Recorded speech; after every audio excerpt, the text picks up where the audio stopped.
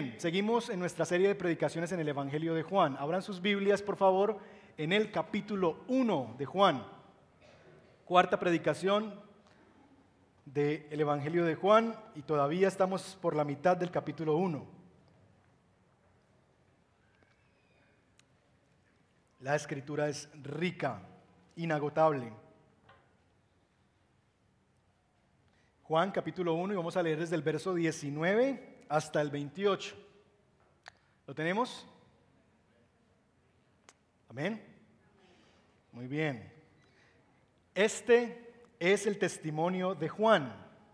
Cuando los judíos de Jerusalén enviaron sacerdotes y levitas a preguntarles quién era, no se negó a declararlo, sino que confesó con franqueza, yo no soy el Cristo. ¿Quién eres entonces? le preguntaron. ¿Acaso eres Elías? No lo soy. ¿Eres el profeta? No lo soy. Entonces, ¿quién eres? Tenemos que llevar una respuesta a los que nos enviaron. ¿Cómo te ves a ti mismo? Yo soy la voz del que grita en el desierto. Enderecen el camino del Señor, respondió Juan con las palabras del profeta Isaías. Algunos que habían sido enviados por los fariseos lo interrogaron, pues si no eres el Cristo, ni Elías, ni el profeta, ¿por qué bautizas? Yo bautizo con agua, pero entre ustedes hay alguien a quien no conocen y que viene después de mí, al cual yo no soy digno ni siquiera de desatarle la correa de las sandalias. Todo esto sucedió en Betania, al otro lado del río Jordán, donde Juan estaba bautizando. Oremos. Señor, que como cantábamos esta mañana, que prepares nuestro corazón para recibir, que rompas, Señor, nuestro duro corazón y que tu palabra llegue a lo más profundo de nuestra alma. Enséñanos esta mañana que se trata de ti, que debemos ser señales que apuntan a Cristo Jesús, que debemos vivir vidas como la de Juan, que buscaba no su propia gloria, sino señalar a aquel que es la gloria de Dios. Ayúdanos a entender cómo eso aplica en las cosas que hacemos, en nuestro trabajo, en nuestras vidas personales, en nuestras relaciones, en lo que somos y en lo que hacemos. Por tu Espíritu yo te pido, Señor, que apliques esta palabra a nuestro corazón y que tú vengas, Señor, y nos lleves a Cristo Jesús, quien es revelado en la Escritura. Así lo pedimos, Padre, esta mañana, en el nombre de Jesús. Amén. Amén. ¿Alguna vez te has preguntado qué piensa la gente de ti? ¿Qué es lo que la gente piensa de ti? ¿Alguna vez has pensado cómo me ven los demás? Si tienes a una persona que te conoce, entre comillas, que tú crees que te conoce un poco, pregúntale, ¿tú cómo me ves? ¿Tú qué crees que soy yo? Hágalo en este momento. Si hay alguien que tú conoces, si no, pues no, pero si estás con un familiar, un amigo que crees que te conoce un poco, pregúntale, oye, ¿tú cómo me ves? ¿Cómo me ves? Si es su esposa, aproveche y dígale linda. Si es su esposo, dígale lindo. No le vaya a decir pasadito.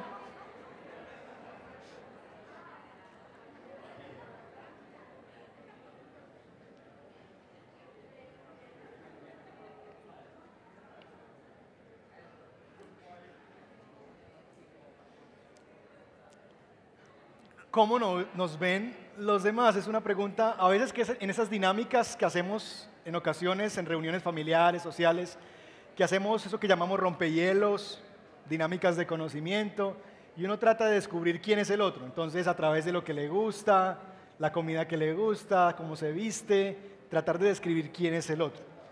Y a veces la forma en que los demás dicen que nosotros somos, usted dice, ¿en serio me ven así?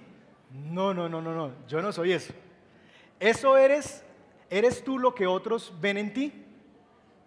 Esa es otra pregunta. ¿Eres tú lo que otros ven en ti? Es decir, como te ve la gente, ¿es en realidad como tú eres? ¿O tú dices, no, yo no soy eso, o yo no soy así? Esa es la pregunta con la que abordan a Juan, verso 19. Este es el testimonio de Juan cuando los judíos de Jerusalén enviaron sacerdotes y levitas a preguntarle quién era. Esta es la pregunta con la que llegan estos hombres sacerdotes y levitas a Juan. ¿Quién eres? Ahora bien, en un primer escenario, Juan ya está dando de qué hablar. Si alguien se pregunta por ti, ¿quién eres tú? Es porque tú estás en un sentido trascendiendo o haciendo algo que implica que te hagan preguntas acerca de tu identidad. Que es inevitable llegar a pensar, bueno, ¿y este de dónde salió? ¿Vos quién sos? Porque eres diferente, porque haces esto o aquello. Tal parece que Juan ya estaba empezando a dar de qué hablar, se había ganado la atención de las personas sobre él. La vida de Juan, y si usted quiere pensar en una primera aplicación, una primera aplicación de este pasaje es la vida de Juan está provocando preguntas sobre su identidad. Y la aplicación sería, ¿provoca mi vida preguntas? Es decir, cuando la gente me ve, cuando la gente me escucha, se está preguntando, ¿y este, ¿y este man de dónde salió? ¿Y esta, ¿y esta quién es pues? Es decir, ¿quién sos vos? Porque yo te veo que esto, que esto y que aquello. Mi vida provoca preguntas porque yo veo que todos los demás esto y tú no esto.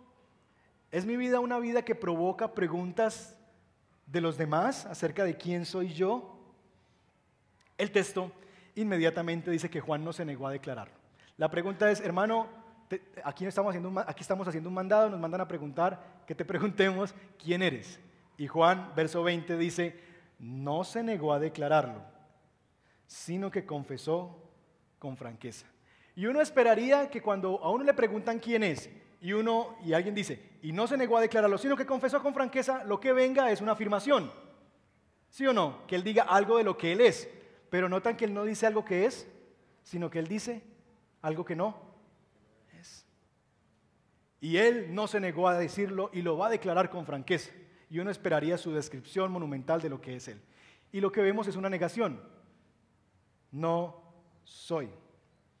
Para aquellos que toman notas, nuestro sermón es muy sencillo esta mañana, tiene básicamente dos puntos.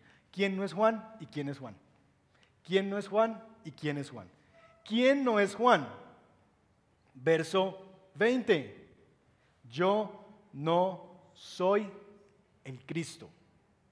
Lo primero que Juan está diciendo es, yo no soy el Mesías. Yo no soy a ese que ustedes están esperando que restaure todas las cosas. Yo no soy aquel que ustedes tienen la esperanza que va a organizar todo esto y que va a traer nuevamente la prosperidad sobre el pueblo de Dios. Yo no soy el Cristo. Entonces es como ese jueguito de adivinanzas que a usted le dan una, una adivinanza y usted tiene que decir qué es. La que más me aprendí yo en mi niñez es largo, larguero, Martín Caballero, las patas corticas y el cuerpo ligero. ¿Cuál es? ¿Qué es? ¿El qué? No. Ok, eso le pasa a ellos, no saben. Entonces, ¿eres el Cristo? No. ¿Tienes otra oportunidad? ¿Acaso eres Elías? No, no soy Elías.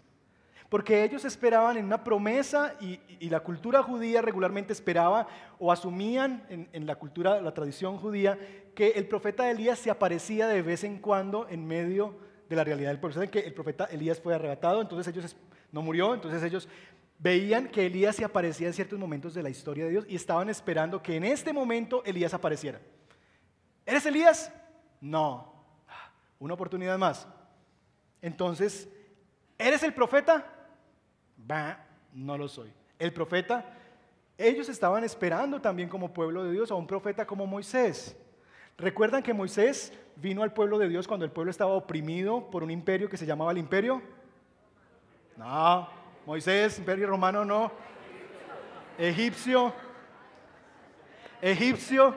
Muy bien, egipcio.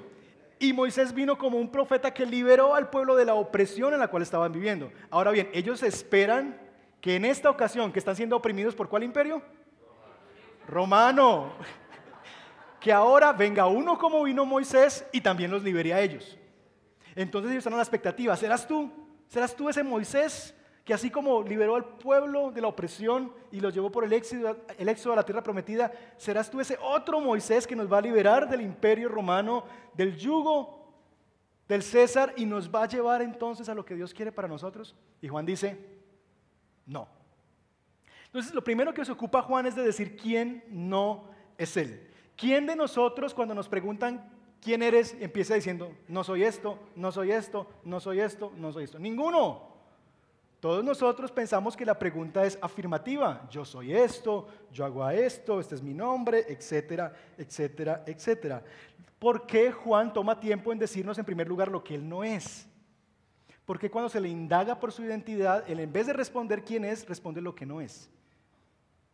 Porque desde un comienzo Juan nos quiere apuntar, creo yo, a que todo lo que él no es, a que su identidad está marcada en torno a su confesión y más adelante lo vamos a ver. Él no es, pero Él les va a decir más adelante, hay otro que sí es. Entonces, desde un comienzo en la definición de la identidad de Juan, Juan está diciéndoles, yo sé que ustedes quieren esto, yo sé que ustedes quieren esto, yo sé que ustedes quieren esto, pero yo no soy. Pero esperen tantico, ahorita les voy a presentar a uno que sí es, que sí es todo eso. Desde un comienzo Juan nos está apuntando a decir, no se trata de mí, se trata de Jesús. Ellos entonces están frustrados porque vienen a preguntarle por la identidad y este lo que les ha dicho es no es. Entonces, la pregunta es, verso 22 al final, ¿cómo te ves a ti mismo? Nosotros te vemos así. Y tú, me dices, tú nos dices que no eres, que no eres, que no eres. Bueno, no le dimos. Entonces dinos cómo te ves a ti mismo. ¿No les parece que esa es una pregunta muy incómoda? Pregúntate por un momento, si yo te preguntara, ¿cómo te ves a ti mismo? ¿Qué responderías? No quién eres, pero cuando nos preguntan quién eres, ah, yo soy Jairo Suárez, soy el pastor del Rey del Sur, tengo dos hijos, mi esposa Jennifer. La pregunta no es quién es, la pregunta es cómo te ves a ti mismo. ¿Cómo te ves a ti mismo? Es un poco incómoda la pregunta porque si uno dice demasiado de uno mismo, entonces, ay, tan fantoche, ay, tan creído, claro. Pero si decís muy poquito, ay, qué falsa humildad, ay, no, pues. Es difícil describirse a uno mismo. ¿Cómo, ¿Cómo me veo yo? Cuando me paro en el espejo y le digo a mí mismo, a mí mismo, ¿quién eres? Es difícil. ¿Cómo lo veo yo ahí? ¿A qué Jairo veo allí frente al espejo? ¿Por qué es difícil? Porque lo que está haciendo aquí Juan es, estas personas a las que las fueron enviadas a hacer un mandado, preguntarle quién era, no le han dado. Es decir, nosotros te vemos así, pero no eres eso, entonces ¿quién eres? Parece que lo que Juan está irradiando es una cosa totalmente distinta a lo que él es. Es muy diferente a cómo la gente nos percibe a lo que realmente somos. ¿Sí o no? Es muy distinto a veces lo que mostramos ante la gente como realmente somos. Frase de mamá, numeral o hashtag, mi mamá me dijo. Quien lo viera diría que es cierto. Eso lo dice la mamá en un contexto donde vamos a una visita y el muchacho muy querido se presta para lavar la losa. Ay, yo lavo la losa. O donde el muchacho es muy educado, ¿cierto? O donde tiende la cama cuando lo va a visitar los amigos o la novia. Y la mamá dice, quien lo viera diría que es cierto. ¿Qué es lo que dice esa frase? Que tú no eres así. Que todos los demás ven una cosa, pero que tú eres otra totalmente distinta. Regularmente se dice para el mal, ¿cierto? Que estás aparentando, pero no eres así. Regularmente, queridos hermanos y amigos, nosotros, ustedes y yo, aparentamos más de lo que somos. Y entonces vamos a entrar en una relación y estamos entrando, entonces nos ponemos la mejor ropita y entonces eh, nos proponen un tema de economía. Entonces yo hace un momento vi el noticiero que decían algo de economía y que el, y que el yo no sé qué de, de, de, Europa, que, que, se salió Inglaterra de yo no sé dónde. Y entonces yo empiezo a hablar y luego me hablan de política, ¿qué piensas del proceso de paz? Y, y, y nos hacemos, en un sentido, sabemos que la sabemos de todos los temas. Y queremos a veces aparentar más de lo que somos. Háblame de economía, yo te hablo de economía. Háblame de geografía, yo te hablo de geografía. Háblame de historia bíblica yo te digo que los, los romanos estaban en... Háblame de todo eso y yo sé qué decirte. Aparentamos mucho más de lo que nosotros somos. Y lo peor de todo es que nos esforzamos para mantener esa imagen. Bueno, no, ¿cierto? Nos esforzamos para que no piensen que pasa eso. Los niños, ya estoy teniendo un niño en esa edad que le hace pasar a uno vergüenzas, ¿cierto? Que uno hace ciertas cosas en la casa, como que uno no haría en otro lado, Y el niño va y le cuenta a los demás lo que uno hace en la casa. Ay, vea que mi papá, ¿cierto? Aparentamos, y no solamente aparentamos, sino que nos esforzamos por mantener la imagen que la gente tiene de nosotros. Así vivimos nuestras vidas. Pero en Juan vemos a uno que hace totalmente lo contrario. La gente piensa cosas muy bonitas de Juan y lo que Juan se esfuerza es porque la gente pierda esa imagen de él. El Mesías, el profeta, Elías, qué cosas tan bonitas piensan de mí. Y en vez de Juan decir, bueno, realmente, Juan dice, no, no, no, no, no, yo no soy eso. Y se esfuerza por perder esa imagen que los demás se han creado de él. Tu identidad está marcada en un sentido por tu confesión. Dime qué crees y en qué crees y te diré quién eres. Mucho de lo que se necesita para conocer a una persona es escucharlo y escuchar acerca de lo que cree de él, de la vida de Dios. Dice el texto cuando le preguntan a Juan, ¿quién eres? Él confesó con franqueza, yo no soy el Cristo. Tu identidad está marcada por tu confesión. Juan no solamente no quiere definirse solamente a sí mismo, sino que al hacer la definición de sí mismo quiere señalar que se trata de Jesús. Yo no soy, yo no soy, yo no soy, pero vendrá uno, viene uno detrás de mí que él sí es. Eso es lo que está haciendo Juan. Así que en primer lugar, ¿quién no es Juan? Juan no es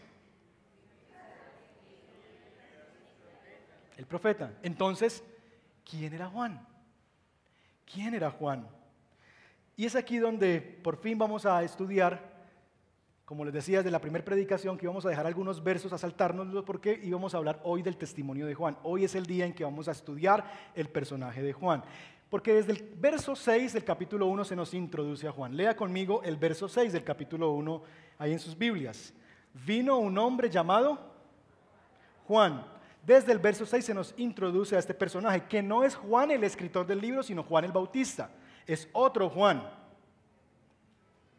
Los Juanes abundan desde la Biblia, ¿cierto? Entonces, Juan, vino un hombre llamado Juan, ¿y qué es lo primero que se nos dice de este Juan? Dios lo envió. Dios lo envió. Muchos de nosotros vivimos una identidad marcada por lo que no somos y lo que queremos ser. Y vivimos a veces en la apariencia y queriendo ser personas que no son, ay, si yo hubiera tenido otra familia, si tan solo yo hubiera tenido las oportunidades de aquel, si tan solo yo hubiera nacido en tal ciudad, lo único que me falta para ser inglés es el perfil. Y empezamos a vivir bajo el deseo de lo que no somos y a quejarnos en un sentido por el lugar donde Dios nos puso, la familia donde Dios nos puso y las realidades y en la época de la historia que Dios nos puso. Yo no sé cuántos de ustedes alguna vez han tenido ese deseo o el sueño de, ay, tan bacano que hubiera sido vivir en la época de, en la época de Cristo, dicen algunos, para haberlo conocido a Él y haber también lavado sus pies. Otros dicen, ay, no, en la época de la conquista española y haber sido uno de esos que y vivimos a veces en esas realidades como deseando haber tenido otra vida.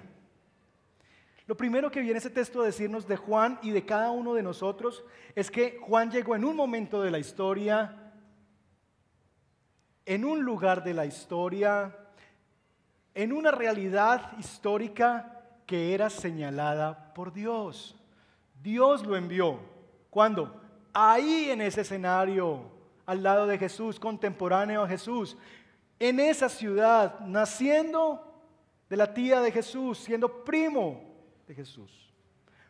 ¿Por qué? ¿Porque fue casualidad? No, porque Dios lo envió con propósito. Querido hermano y hermana que estás aquí esta mañana, tu vida no es un error de Dios. La familia en que naciste no es un error de Dios. Los recursos pocos o muchos que tienen no es un error de Dios. Dios te envió a esa familia, a esa ciudad, en medio de ese contexto, con esos recursos, sin esos recursos, porque Él tiene un plan para ti, porque Él es soberano. Así que Dios envió a Juan. Juan en un sentido es un hombre que está señalado bajo un propósito divino. Él va a cumplir unos propósitos de Dios porque Dios lo envió. Él no se envió a sí mismo. Él no dijo quiero nacer. Como dice por ahí el humorista, yo no pedí nacer. Ninguno de nosotros pidió nacer. Pero nacimos ahora en esta realidad, porque en el propósito de Dios estaba eso. Así que en primer lugar, lo que el texto nos dice de Juan es que él es un enviado de Dios. Número dos, sigue diciendo el versículo 7, vino como testigo para dar testimonio de la luz. ¿Qué hace un testigo?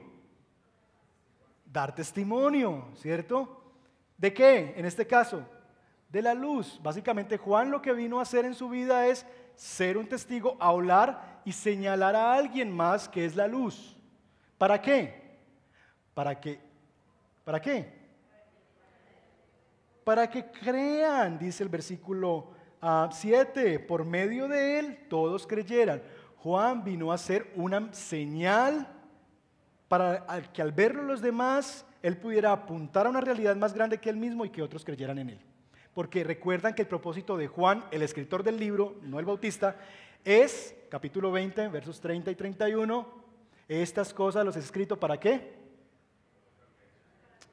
Para que crean que Jesús es el Cristo, el Hijo de Dios, y para que al creer en Él tengan vida eterna. Entonces lo que Juan está haciendo, el escritor del libro, al introducirnos a Juan el Bautista, es decir, he aquí la primer señal de que Jesús es el Cristo, el Hijo de Dios. Vino un hombre llamado Juan. Y él vino como testigo de la luz para que al verlo a él otros creyeran en Jesús. Un enviado de Dios vino como un testigo de la luz. Y en tercer lugar, verso 15 del capítulo 1, Juan dio testimonio de él y a voz en cuello proclamó, este es aquel de quien yo decía, el que viene después de mí es superior a mí, porque existía antes que yo. Juan es un proclamador de la superioridad de Cristo. Juan vino como alguien que vino a proclamar que Cristo es superior, que Cristo es mejor, que se trata de Él y no de ningún otro. Él vino a mostrarnos la superioridad de Jesús. De hecho, en el capítulo 3, verso 30, vayan sus Biblias, Juan nuevamente testifica acerca de Jesús. Y, la gente se está preguntando, hey Juan, los discípulos de Juan, nos están pirateando el bautismo.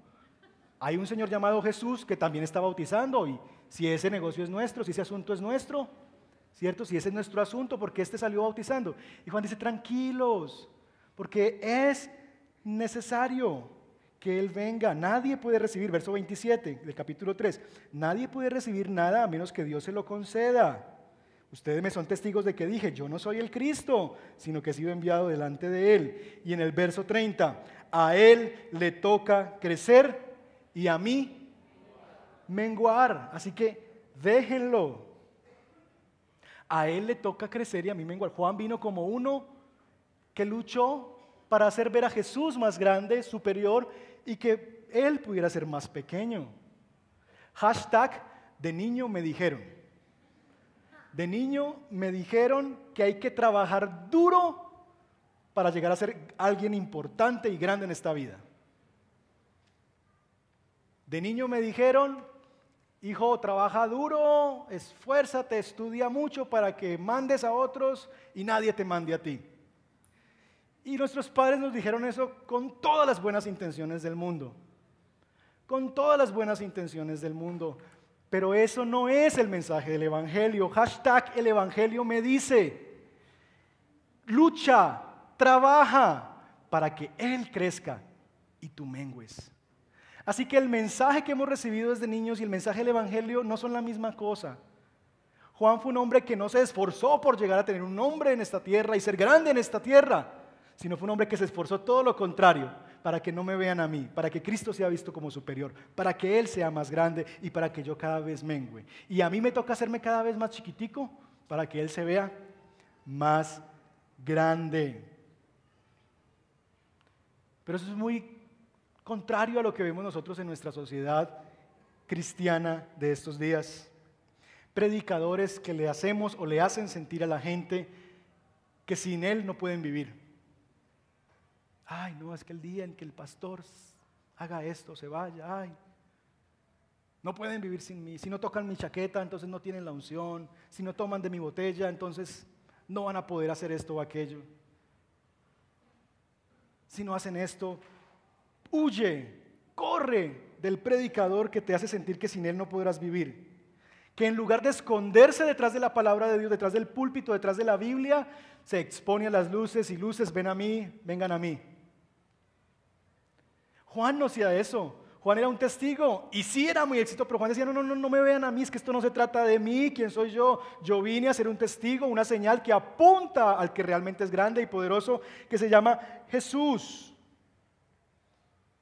Así que ningún testigo en esta tierra desconfía de cualquier testigo en esta tierra que quiere que las luces apunten sobre él y que no se esconde detrás de la palabra de Dios, sino que se predica a sí mismo. Porque eso no es lo que Dios dice de un testigo del Evangelio. Así que Juan es uno que trabaja duro para menguar con tal de que él crezca. Juan es uno que quiere que Cristo Jesús se vea como superior. Él es más grande, Él es superior a mí. Y Él trabaja duro para que eso sea así. Llegamos entonces al verso 22 del capítulo 1 y está tal vez la, la parte más importante de nuestro texto esta mañana y es la declaración de Juan acerca de su identidad. ¿Cómo te ves a ti mismo? Le preguntan a Juan. Y Juan dijo, yo me veo como la voz del que grita en el desierto, enderecen el camino del Señor. ¿Quién soy yo? ¿Cómo me veo yo? Yo me veo a mí mismo como una voz, como la voz que grita en el desierto, preparen el camino al Señor. Ahora bien, de nuevo, es imposible estudiar el Evangelio de Juan, o por lo menos el prólogo de Juan, sin conectarlo con el Antiguo Testamento. Y en esta ocasión es porque es una cita directa del Antiguo Testamento. Estas palabras, y el mismo texto nos dice que respondió Juan con las palabras del profeta Isaías. ¿Qué significan las palabras del profeta Isaías? Entonces tenemos que ir a Isaías y ver en qué contexto Isaías dijo esas palabras. No vaya usted, déjenme yo leerle lo que dice Isaías para que no pierda Juan. Isaías capítulo 40, aquellos que quieren ir sin embargo y comprobar. Isaías 40, esta cita es del versículo 3, pero quiero leer los dos versos anteriores para que entendamos un poquito el contexto. Isaías dice lo siguiente, consuelen, consuelen a mi pueblo, dice su Dios, hablen con cariño a Jerusalén y anúncienle que ya ha cumplido su tiempo de servicio, que ya ha pagado por su iniquidad, que ya ha recibido de la mano del Señor el doble por todos sus pecados. Verso 3. Una voz proclama, preparen en el desierto un camino para el Señor, enderecen en la estepa un sendero para nuestro Dios que se levanten todos los valles, que se allanen todos los montes y las colinas, que el terreno escabroso se nivele y se alicen las quebradas, entonces se revelará la gloria del Señor y la verá toda la humanidad y el Señor mismo lo ha dicho. Esta es una cita entonces de Isaías. Esto está en el marco del retorno del Señor. Hasta el capítulo 39 de Isaías, todo lo que encontramos es juicio de Dios contra el pueblo de Dios. Todo es básicamente ¿Por qué? ¿Porque Dios es malo? No. Porque el pueblo ha pecado, ha abandonado el pacto y ya sabemos, lo vimos hace ocho días, Dios es un Dios justo, santo y verdadero y Él tiene que ser no solamente gracia, sino verdad. Y lo que merece el pecado del pueblo en el pacto que ellos habían entrado y abandonaron es que deberían ir al exilio a otra nación. Así que Isaías del 1 al 39 es la voz de Dios a través del profeta. Ustedes han pecado, ustedes se han alejado y esto es lo que viene contra ustedes. Pero en el capítulo 40 aparece la gracia, la promesa, el consuelo de Dios. Consuele nación, consuelen a mi pueblo porque va a llegar el día en que el Señor va a regresar. Isaías profetiza que llegará un tiempo de consuelo, un tiempo que se va a cumplir, un tiempo en que ya se ha pagado por la iniquidad, donde ya se ha pagado por los pecados del pueblo una voz proclama, preparen el camino. Notan cómo ya empezamos a hacer relaciones con Cristo. El tiempo se ha cumplido. Consuelen a mi pueblo. La gloria del Señor va a volver sobre el pueblo. Y lo que dice es que Isaías preparen el camino al Señor. Ahora bien, ¿por qué esa invitación a preparar el camino? En esa época no existían las avenidas, no había asfalto, no había concreto, eran calles polvorientas. De tal manera que cuando un pueblo escuchaba el anuncio de que viene una gran dignidad, el rey yo no sé quién, el monarca, ¿cierto? Su majestad, el pueblo inmediatamente decía, tenemos que arreglar las calles, tenemos que preparar el camino. Entonces el pueblo se iba y básicamente lo que hacían era, con las herramientas de la época, enderezar el camino, cortar las quebradas, hacer puentes si se habían quitado los puentes, arreglar con madera los puentecitos, porque en esa época los únicos que tenían carros eran la gente importante. Yo sé que ya eso es raro, pero en esa época solo tenían carro las personas, los dignatarios. Los demás andaban a pie o en burrito, ¿cierto? O en camello si tenía mucha platica, un poquito más. Pero los únicos que tenían carros era la gente realmente importante. Y como solamente había unos poquitos, pues la gente no sentía la necesidad de hacer avenidas. Pero había que hacerlas cada vez que un dignatario visitaba la ciudad. Así que lo que el profeta está diciendo es, Preparen el camino porque viene una dignidad, viene el Rey de Reyes, el Señor de Señores, y hay que abrirle el camino. Quiten esto, enderecen las veredas, háganle una venida al Señor porque Él va a venir con poder en medio del pueblo. Ahora bien, si Él va a venir y si Él va a visitar y si hay que preparar el camino para que Él venga, es porque qué? Si Él va a venir es porque qué? Porque no está. Si Él tiene que venir y visitar, es porque no está. ¿Dónde estaba Dios? Básicamente, lo que está viviendo el pueblo de Dios es el juicio de Dios. El pueblo le ha dado la espalda a Dios, entonces Dios dijo, ok, van a ir al exilio, y Dios vivió en una temporada de espaldas a su pueblo. Y se fue. Carson, que es un comentarista bíblico, ve una sincronía entre el mensaje de Isaías capítulo 40 y Ezequiel. En Ezequiel 9 al 11 se nos hace una descripción magnífica de la gloria de Dios. Que la gloria de Dios se monta en un carro y que la gloria de Dios luego se sale del templo y se para a un ladito del templo y que luego ese carro se traslada y se va a, las afueras del templo y que luego ese carro se va y se para en un monte fuera de la ciudad. Y básicamente lo que Ezequiel está diciendo es que la gloria del Señor se ha abandonado al pueblo, que la gloria de Dios se ha ido en medio de Israel en un carro. Así que este comentarista dice lo que Isaías está diciendo y lo que Ezequiel está diciendo es que así como se fue la gloria de Dios en un carro de fuego, en este caso en la visión de, Ezequiel, va a venir también de nuevo por una avenida, por un camino, la misma presencia de Dios. E Isaías 45 dice que veremos la gloria del Señor cuando Él venga de nuevo a su pueblo. ¿Qué es lo que está haciendo Juan entonces? Juan está diciendo que ese tiempo de consuelo que Isaías profetizó se ha cumplido, que el retorno de la presencia de Dios que se había ido en un carro de fuego en la visión de Ezequiel ha retornado. Recuerdan que Juan nos ha dicho que Jesús es la misma gloria de Dios y hemos contemplado su gloria, la gloria del unigénito Hijo de Dios. Por eso, porque Dios ha regresado en la persona de Jesús. Y lo que está diciendo Juan es, yo soy esa voz que está construyendo el camino para la aparición de aquel que es la gloria de Dios, de aquel que es la misma presencia de Dios entre el pueblo. Eso es lo que está haciendo Juan. Yo soy esa voz que abre el camino para esa tan anhelada presencia del Señor en medio del pueblo nuevamente. Qué belleza la de la escritura.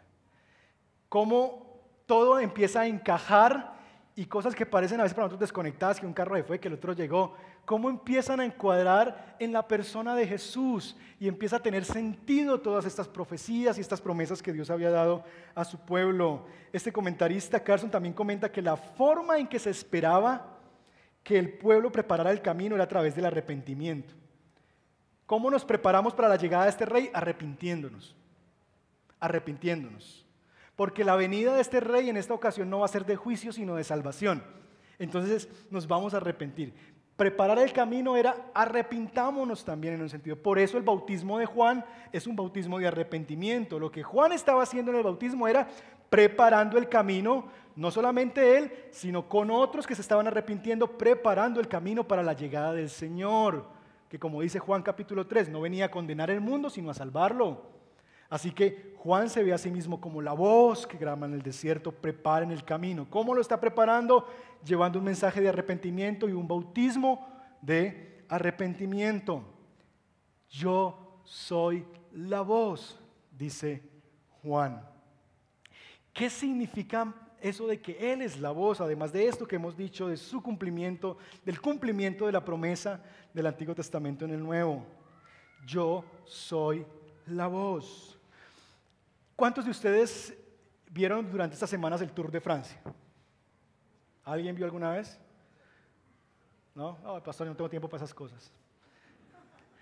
Los que lo vimos y los que disfrutamos del ciclismo, hay un personaje que siempre me ha llamado mucho la atención. Yo no entendía hasta hace unos días que alguien me explicó, un pastor que practica ciclismo y lo practica en serio todos los días, me explicó el tema de que, que ah, que es que ah, Nairo no tiene equipo. pues que sí, aquí no es fútbol, que uno le toque el balón al otro, aquí todos van al mismo ritmo y nadie pedalea por él. ¿Cuál es el punto con, el equipo, cierto? ¿Qué es lo que hace el equipo? Pues que que este sí tiene, aquel no, si todos tienen que pedalear lo mismo, todos recorren el mismo kilometraje, todos tienen la misma loma que subir.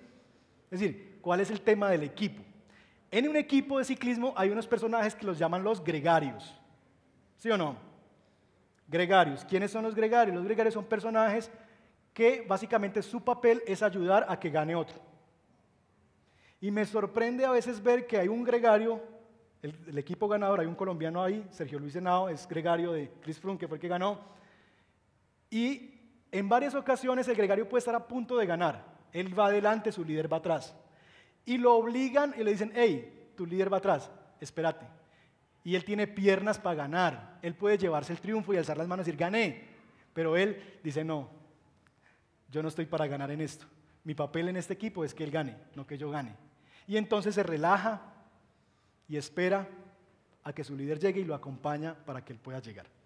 Eso pasa en el ciclismo. Básicamente lo que Juan nos está diciendo es que él es ese gregario. Juan está siendo buscado por los fariseos porque alguien o muchas personas han visto algo grande en él. Por eso vienen a buscarlo y le dicen, tú eres el Cristo, tú eres Elías, tú eres un profeta. Las demás personas están llegando a pensar que Juan es alguien demasiado importante. ¿Qué oportunidad tiene Juan para autopromocionarse aquí? Y aquí los del pensamiento positivo rechinan los dientes. Si otros están hablando de ti, aprovecha tu momento.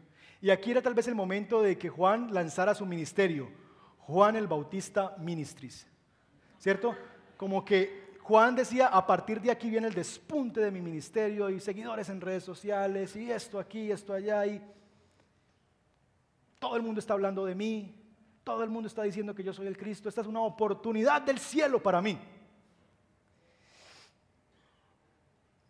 Y Juan no hace eso. Y básicamente es porque en Juan vemos dos maneras que tenemos nosotros para vivir. Número uno, nosotros podemos llegar a vivir vidas que construyen un reino para sí mismo donde yo soy el rey y el ciudadano a la vez, un reino de uno.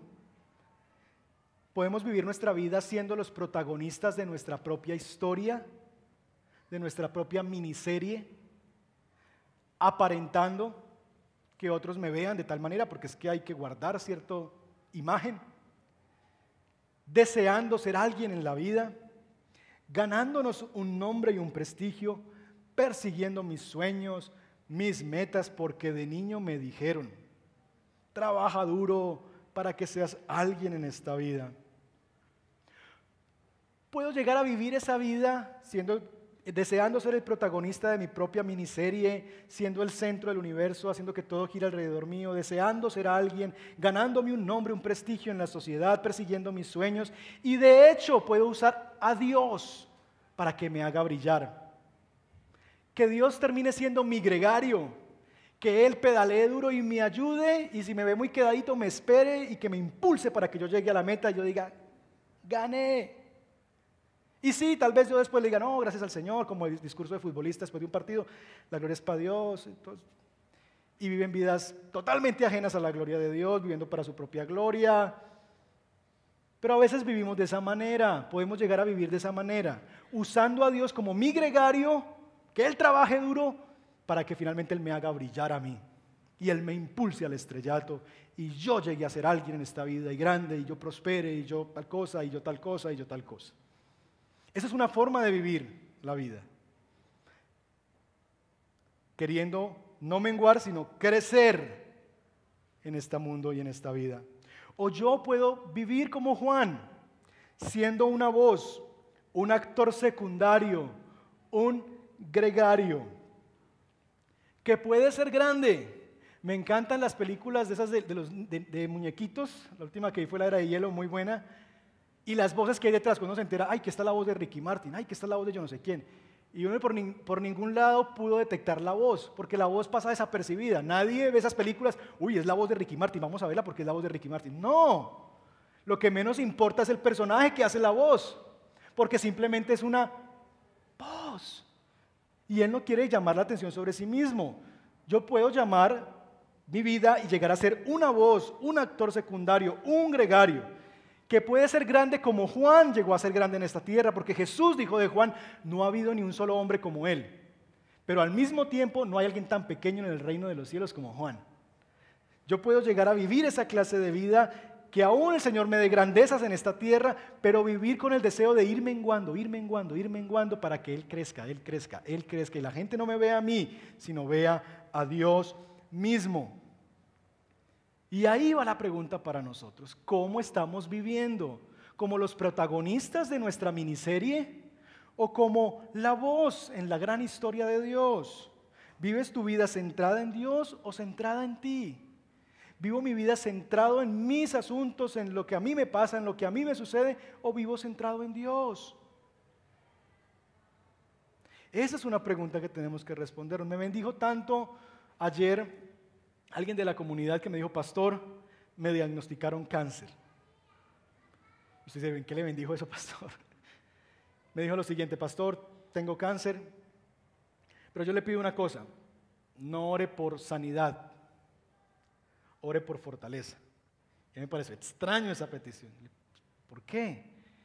Mi pastor, ore por fortaleza porque lo único que yo quiero a través de este cáncer es que si Dios permitió que este cáncer viniera, yo lo quiero que esta enfermedad sea para la gloria de Dios. Si Dios permitió que esto viniera a mí para que mi familia crea por fin en el Evangelio, que por años he tratado de predicarles y nunca me pararon bolas, pero que ahora como soy la enfermita de la casa, sí me van a escuchar. Si Dios quiere usar eso, esta enfermedad mía, esta situación mía, para que mi familia lo conozca a Él, para que mi familia lo escuche a Él, entonces mi cáncer habrá valido pena. Pastor, no quiero, en lenguaje de John Piper, no quiero desperdiciar mi cáncer. Lamentándome o enfocándome en mí, en cómo me tocó a mí de duro, de lo difícil que es para mí y porque a mí, Señor, yo no quiero desperdiciar mi vida centrándome en mí. Yo quiero que Dios use esto para la mayor gloria de su nombre y para el bien de mi familia. Eso es vivir una vida para la gloria de Dios. Pero vivimos tan enfocados en nosotros mismos en nuestras penas, en nuestras luchas y desperdiciamos nuestra vida encorvados hacia nosotros mismos y dándole vueltas a preocupaciones y pensando por qué no tengo más y por qué no tengo más salud y por qué no tengo más dinero y por qué no tengo más oportunidades y por qué la empresa tal cosa y por qué yo tal cosa y por qué y por qué y por qué y por qué y nos perdemos la oportunidad de llegar a ver eso como recursos de Dios para la gloria de Dios. Es mejor llegar a ser una voz en la gran historia de Dios que el protagonista de nuestra propia miniserie. Yo soy la voz. ¿Qué hace una voz? ¿Qué hace una voz? Transmite un mensaje, dice algo. Y esto básicamente nos comunica una verdad del Evangelio y es que es más importante el mensaje que el mensajero. Y Juan nos está diciendo eso. Aquí lo que menos importa es quién soy yo. Aquí lo que importa es lo que yo tengo para decirles. Aquí lo que importa es lo que yo tengo para comunicarte a ti. Juan era una voz. Eso, numeral, mi pastor me dijo. Hashtag mi pastor me dijo. Predica con tu ejemplo de vida. No, eso, eso no es el Evangelio. Ay, pastor, pero ¿cómo así si a mí me dijeron eso? Usted me lo dijo también. numeral, mi pastor me dijo, si llevamos pan y ropa a los necesitados y les mostramos el amor de Dios al llevarles esto, eso basta y eso es predicarles el Evangelio. Eso no es el Evangelio. Eso no es el Evangelio porque el centro no es el mensajero y lo que haga el mensajero y qué hace y cómo lo hace. El centro es el mensaje. ¿Qué es lo que yo te voy a decir? No importa tanto qué es lo que yo haga sino lo que importa es el mensaje. Jesús les dijo a los fariseos y a la gente, miren, hagan lo que ellos dicen, pero no hagan lo que ellos hacen. Aún Jesús decía, ellos son válidos como mensajeros, porque tienen un mensaje, porque lo que dicen es verdad, aunque sus vidas sean un desastre. Demostración sin proclamación no es evangelio. Demostración sin proclamación no es evangelio. Porque cuando yo te digo, predica con tu estilo de vida, básicamente lo que estoy llamando la atención es sobre mí. Ay, pero como él es tan bueno. Ay, pero como es tan buen esposo. Ay, mira, pero cómo hace todo esto. Ay, ¿usted qué? Y eso no es lo que el Señor quiere. Lo que el Señor quiere es que lo llevemos a Él. El Evangelio es un mensaje, es una noticia. Evangelio quiere decir buena noticia. El Evangelio hay que verbalizarlo. Ahora bien, proclamación sin demostración puede llegar a ser el Evangelio. Porque Jesús dijo, si ustedes no hablan, las piedras hablarán. ¿Y qué demuestra una piedra? Nada. Pero pueden proclamar si es necesario. Ahora bien, ¿qué es la propuesta del Evangelio para nosotros los testigos de la luz? La propuesta del Evangelio para nosotros es proclamación más demostración. Claro que Dios quiere que yo demuestre en mi vida lo que yo digo con mi boca. Por supuesto que sí.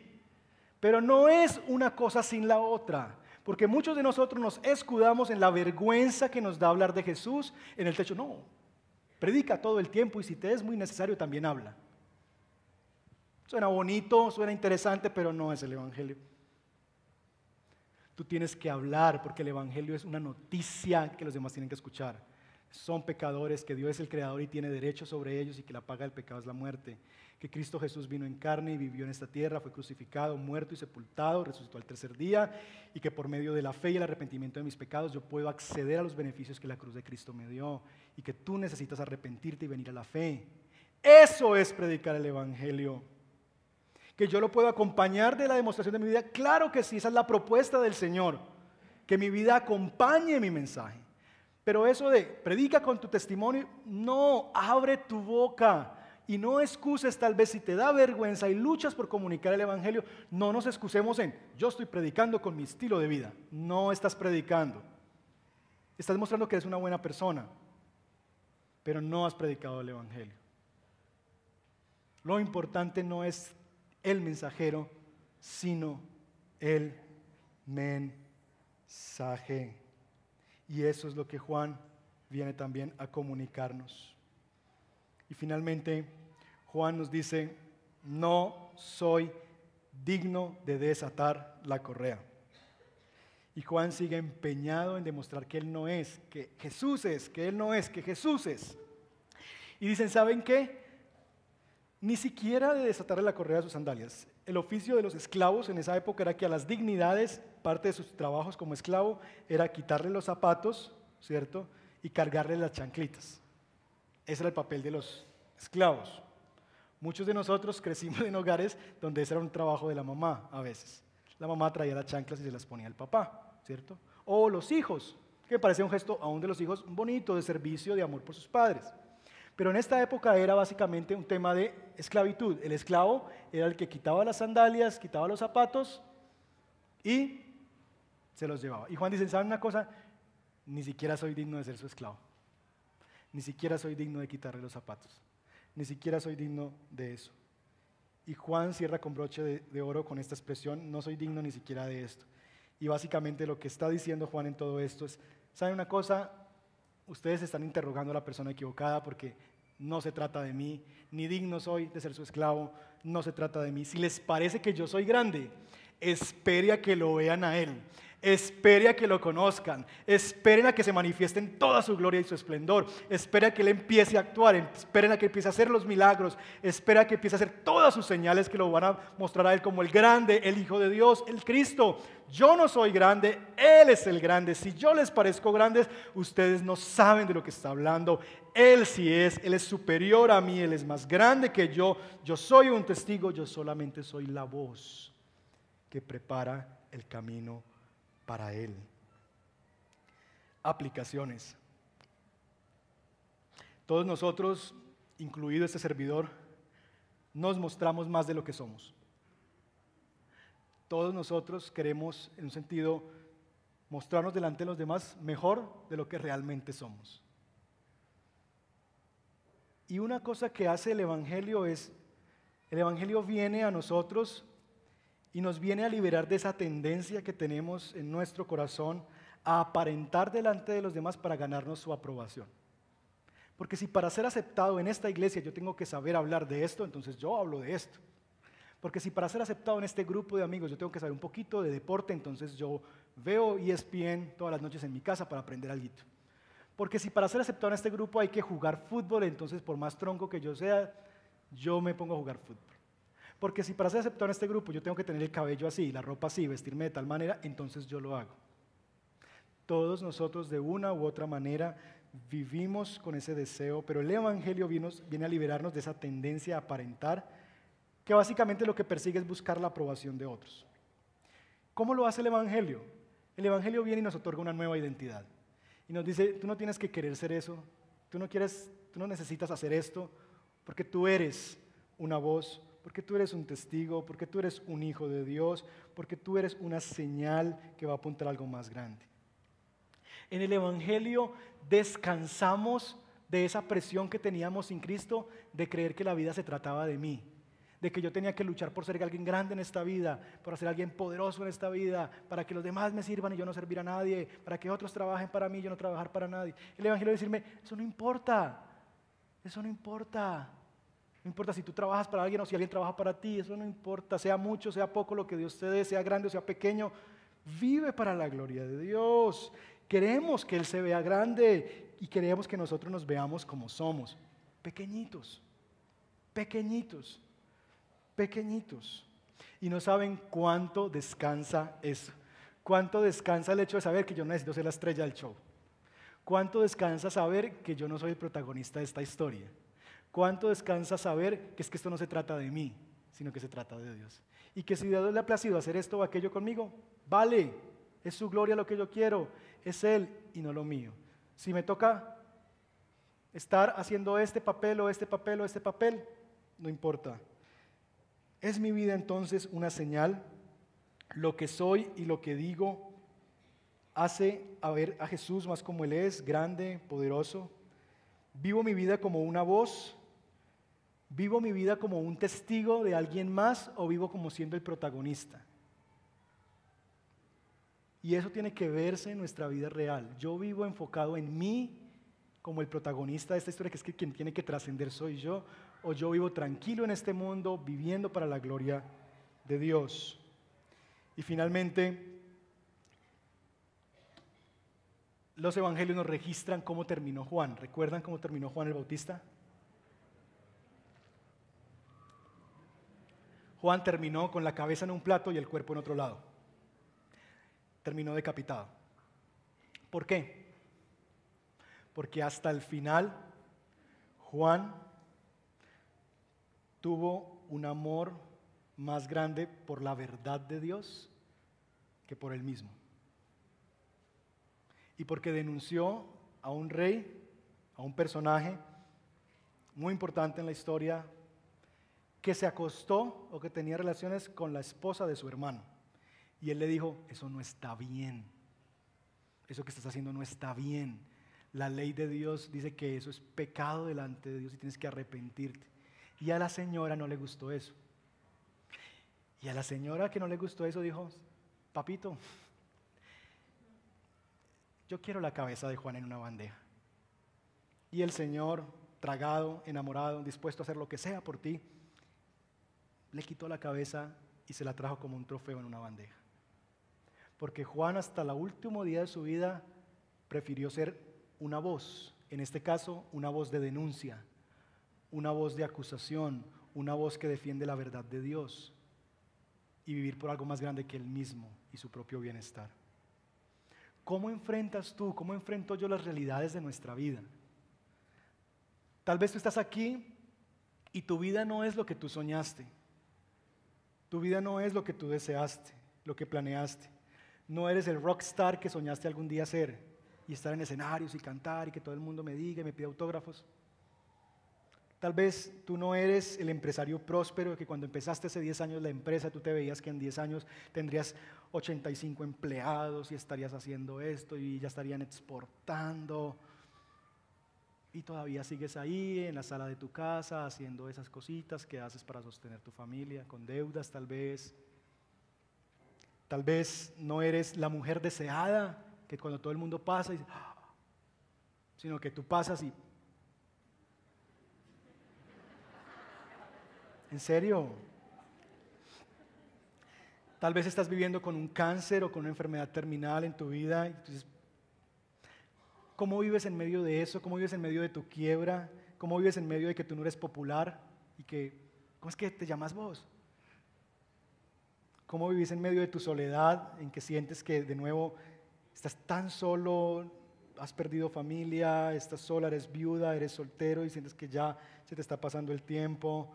cómo vives tu infertilidad porque tú has deseado tener hijos y no puedes tener hijos, o cómo vives tu mucha fertilidad porque tienes cinco hijos y estás que no sabes qué hacer. En medio de esas cosas buenas o malas, prosperidad, pobreza, bienestar, adversidad, ¿estás dispuesto a ser tan solo una voz? Es decir, ¿estás dispuesto a decir, pues si esto es lo que Dios quiere para mí, como dijo Job, el Señor dio, el Señor quitó, sea el nombre del Señor bendito. Porque Dios no solamente quiere quitarnos las cosas a veces negativas y difíciles, Dios quiere que seamos como esta mujer que me encontré ayer. Diga, pastor, no me importa. No me importa, no digo que no me duele, por eso pido fortaleza, que el Señor me fortalezca porque me duele. Claro que me duele, claro que estoy triste, por eso pido fortaleza.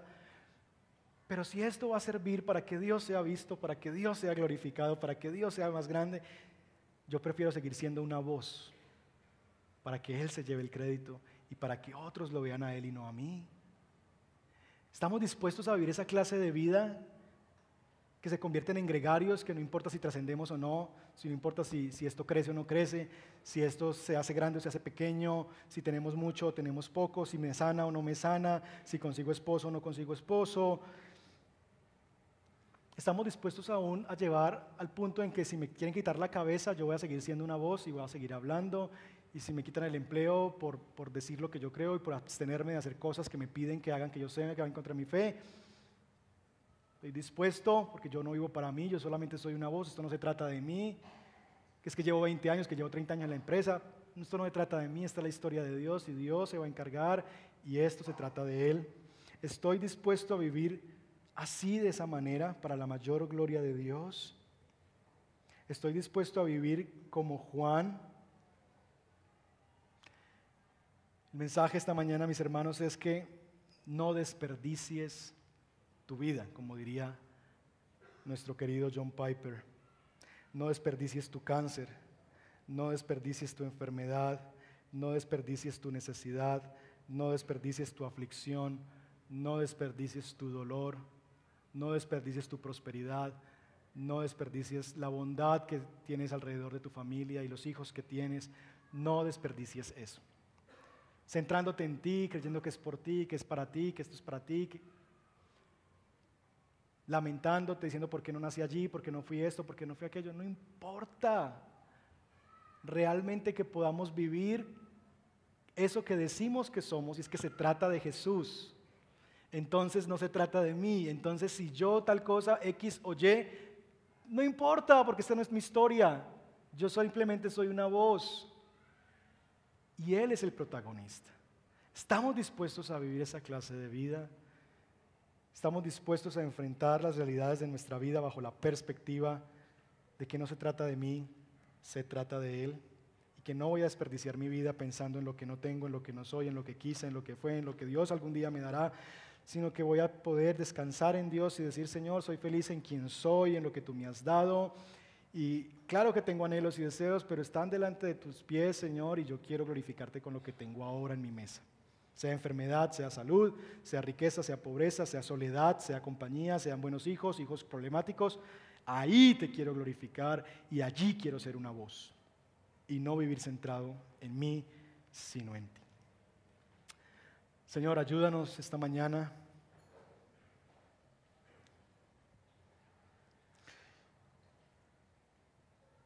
A poder, Señor, adoptar el corazón y la actitud de Juan.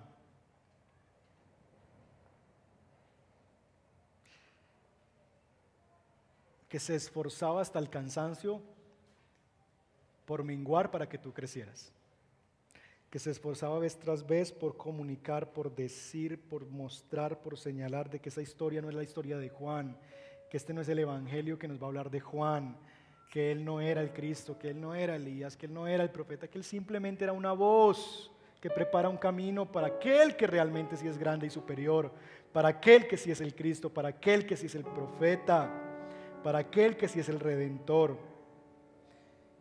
y que estuvo dispuesto, Señor, a seguir siendo una voz, aun que siendo una voz y aunque al ser una voz implicara que su cabeza sería quitada de su cuerpo. Y hasta el final fue una voz y denunció la maldad de este hombre. Señor, ayúdanos a que eso que decimos con tanto ahínco, que se trata de ti, que realmente Jesús es el centro, que tú eres el centro de nuestra vida, que queremos vivir para la gloria de Dios. Que eso sea verdad.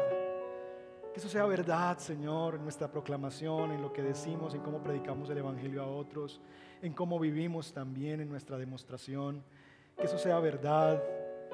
Y que si viene algo difícil y una adversidad, paremos ya de lamentarnos y de enfocarnos en nosotros mismos, en por qué me pasa esto a mí, qué quiere Dios, y por qué me enfermo, y por qué esto, y más bien decir, si Dios se place usar esta enfermedad, este dolor, esta aflicción, esta necesidad, esta escasez, esta adversidad, esta soledad, para que otros lo vean, yo quiero vivir esta situación como una voz que le ayuda a otros a señalar al que es realmente grande, aquel que realmente es poderoso, aquel que realmente es superior. Porque a mí me conviene menguar para que él crezca. Porque yo no soy el novio en la fiesta. Yo no soy el, el centro de atención, yo no soy el difunto en el velorio. Yo soy uno más y simplemente quiero que otros vean a Jesús, a Jesús y amen más a Jesús y aprecien más a Jesús y abracen el Evangelio y abracen a Dios mismo. Señor, que sin importar la situación, sea de prosperidad o de adversidad, sea de bienestar o de adversidad, Señor, que en cualquier situación yo viva con un deseo profundo en mi alma de centrarme en ti y de mostrarte a ti y de, y de ver cómo esto puede ser usado para la mayor gloria de Dios.